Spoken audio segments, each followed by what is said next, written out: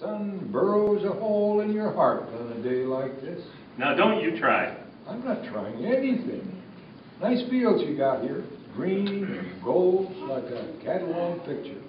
What are you getting at, Dempster? Haven't you heard, you, haven't heard you wax poetic since the day you bought old Jim Myers sump pump for half price.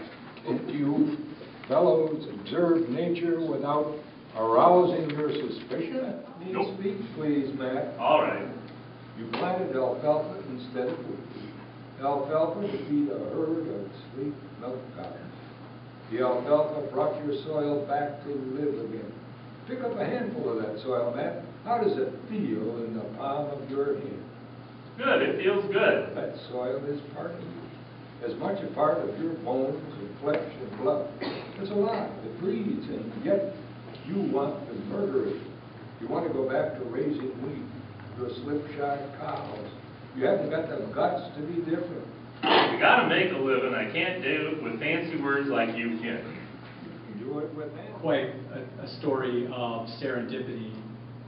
I, I was new to uh, Wisconsin and uh, happened, of all things, to be to need a, a Port Atkinson in, uh, in Madison. So I ventured down, got the part here in Fort Atkinson, and noticed this wonderful history museum.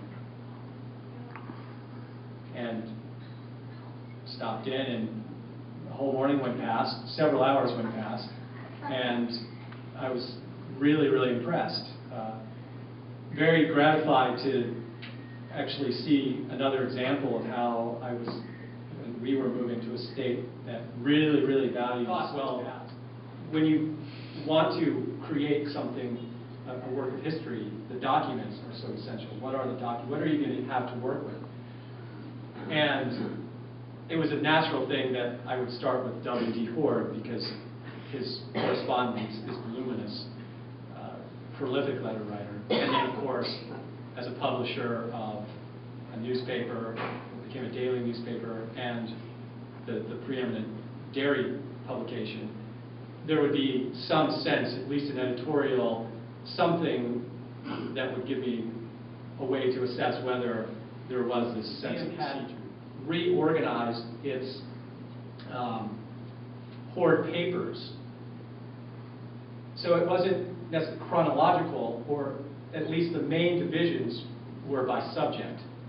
And so there were no- a number of subjects related to W.D. Hoard, be- given, you know, all of his, his work in publishing, uh, in the dairy industry, in politics. And there was one that said oleomargarine. And I knew margarine, I didn't really know oleo. And I have a feeling that there are going to be people in this audience who will have a, a real sense of the high stakes of this particular